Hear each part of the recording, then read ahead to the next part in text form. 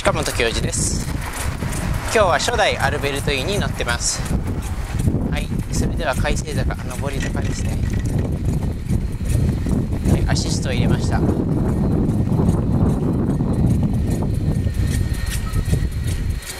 い。でね今日このキルキルっていう風にねキルキルっていう風に言ってるのが分かると思うんですけどこれベルトの隣です。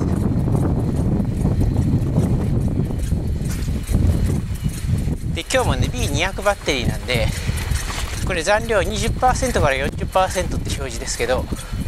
実際は1213%ぐらいかな。まあ10%から15%ぐらい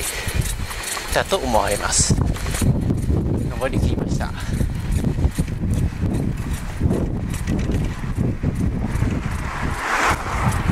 でこの操作パネルね古いやつですけどまあ、これの方がライトボタンとかは操作しやすいかな。で先ほど言ったねお隣の件ですけどもうこれ過去にもねちょっと話してますけどまあベルトドライブね基本的にはメンテナンスフリーなんですけどベルトお隣っていうのはねたまにします。でこれねほっといて治ることも結構あるんですよ。で、まあ、この自転車はね今日は隣してますけどこの前ね隣してその後なんかしなくなってでまた今日はしてるっていう感じでそこまで慌ててお隣直そうとする必要は、まあ、個人的にはないかなっていうふうに思ってます、まあ、実際にこれお隣してある程度乗り続けて、まあ、そんなにねあのガタがどんどん増えていったりはしないですね。ただ、まあ、結構音が大きいんですよね。キルキルっと音がねすごいするんでまあ多分気になると思います相当ね、うん、だから、まあ、これはねあのずっと放置は精神衛生上あんまりねできないかなって感じなんですけど。まあでもそんなにねあのまあ、お隣してもそんなあの問題ないというふうに思っていただいていいと思います。これお隣を、まあ、直そうとしたらあのまあねベルトとあとプーリーね歯車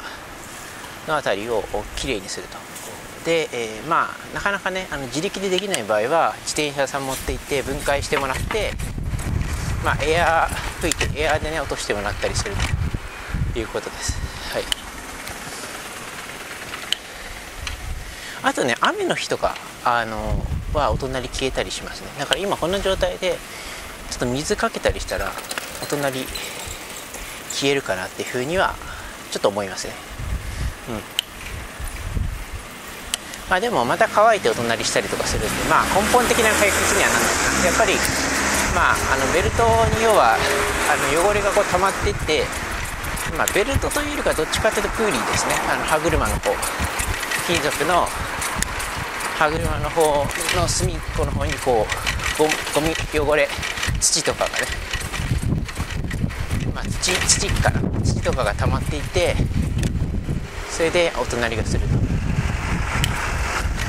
いうことですね。はい。であとねあのこの自転車経年劣化によるもう一つねあの2021年モデルの最新のアルベルト E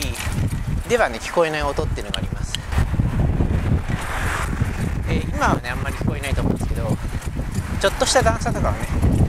こういった時にあの前輪モーターからカタカタって音がねするんですよ。あ今とかするんですけどちょっと分かりにくい分かりにくいかな、うん。まあ、これはそんなに大きい音じゃない。あの全然ベルトの隣と隣とかに比べれば全然大したことないんですけど、まあ、この音はね前輪カルボンダー型がね、えー、まあしばらく使うとあのなる音ですがビビチャージもね、まあ、ちょっと音のなり方違いますけどでもなんかカタカタって音がね、まあ、ビビチャージだとパコパコっていう感じなんですけどあのなりますなってます、まあ、2万キロ走ってるんでビビチャージね。この自転車はまあ1万キロぐらいですかね。はい、まあ、こういうふうに。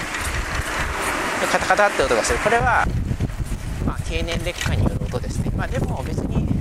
まあ、だからって言ってアシストがあからさまに弱くなったりは全然してないです、はい、この回生ブレーキかかってる時のねこの左から右に流れていく、まあ、これ、まあ、大元はあれかな3葉かな。まあでもこれはなんか綺麗ですよね。あのまあ新型のねあの新しい新しいパネルよりこっちの方がねなんかちょっと先進感はあるかな、まあ、青いっていうのが大きいですかね、うん、あとこれね、まあ、私は基本オートモードとアシストオフモードしか使わないんですけど今電源入れてこれオートモードね。でパワーモード。はいエコモードっていう風に結構カラフルですね。結構ベルトのお隣しますね。ちなみにこれ焦がないと音消えますからベルトのお隣でケイデンスがある程度あのペダルの回転数ですね。が分かると思いま